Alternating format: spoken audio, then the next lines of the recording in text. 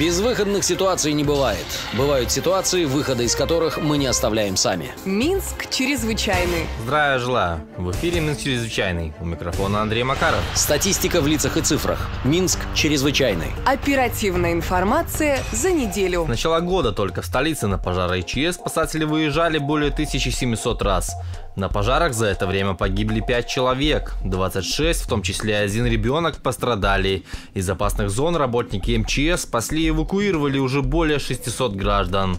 Остановимся на более значимых происшествиях минувшей недели. Минск чрезвычайный. В понедельник днем, отдыхая в парке Дружбы Народов, семья Минчан задела гнездо ос. В результате личной неосторожности укусы рук и ног получили бабушка и мама, а также двое детей, трех и семи лет.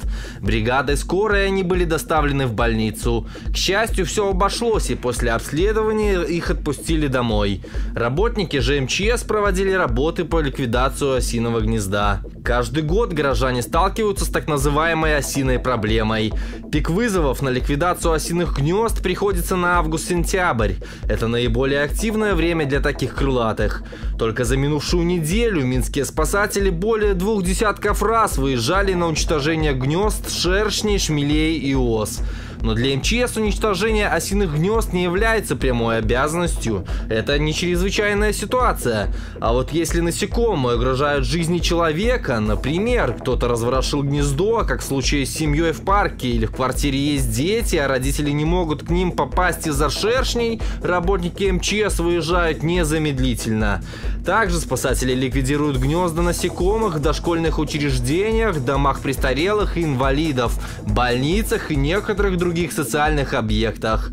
Если же осы завелись непосредственно в жилье граждан, например, под оконными карнизами или у вас на балконе, то в большинстве случаев исправлять ситуацию придется самостоятельно. Если же гнездо появилось в местах общего пользования, тогда необходимо обращаться к коммунальщикам, так как за вопросы санитарного состояния и избавления от насекомых отвечает собственник и балансосодержатель здания. МЧС советует гражданам постоянно следить за своим жильем и не допускать, чтобы насекомые устраивали там свои гнезда.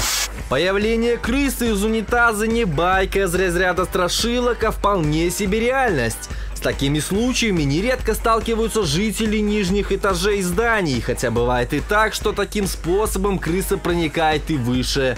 Удивляться этому факту не стоит. В понедельник спасателей вызвал хозяин квартиры на первом этаже по улице Жудро. Вернувшись домой вечером, мужчина обнаружил в санузле крысу и сразу же позвонил по номеру 101. Оперативно прибывшие работники МЧС извлекли почти 40-сантиметрового грызуна из санузла.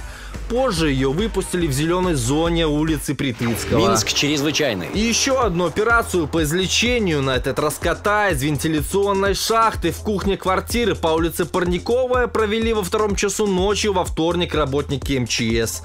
Хозяин квартиры понял, что самостоятельно животное выбраться не сможет и вызвал спасателей. Кот оказался очень толстым и застрял, что называется, намертво.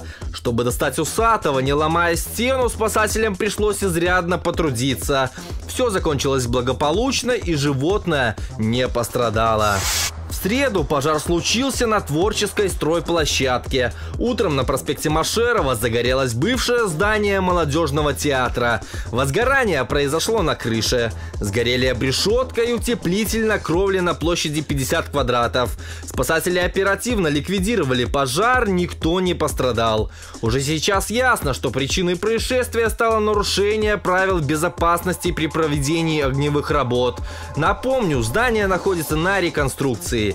Вероятно, это ЧП еще отсрочит сдачу культурного объекта.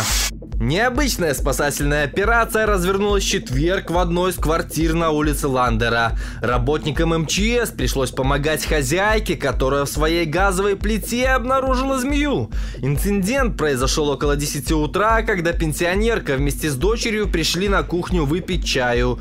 Стоя у конфорки, женщина услышала странное шипение и даже увидела хвост. Приехавшие на место спасатели достали присмыкающиеся при помощи специального инструмента инструмента. Оказалось, что это гадюка. Во время инцидента никто не пострадал. Каким образом гадюка проникла в газовую плиту, установленную в квартире многоэтажного дома, пока не установлено. Как действовать в случае, если к вам домой заползла или укусила змея, читайте в разделе «Что делать» приложение МЧС Беларуси «Помощь рядом». Скачать приложение можно из Play Market. Минск чрезвычайный. Вся оставшаяся часть минувшей недели прошла в городе спокойно, и значимых по своим последствиям происшествий в суточных сводках спасателей не зафиксировано.